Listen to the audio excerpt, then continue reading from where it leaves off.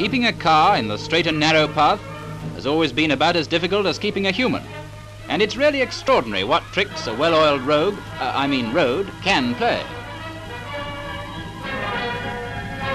He's in a hurry to catch the post.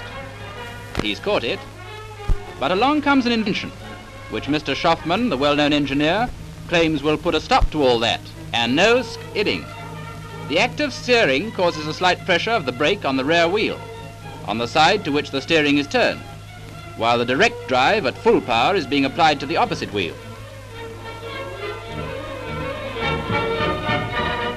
Fitted with this non-skid device, a car was put to a severe test on the London Transport track, the bus driver's Waterloo, which was covered with grease and water. It was only just possible to force the car into a skid, but it remained in perfect control and responded to the normal actions of the driver.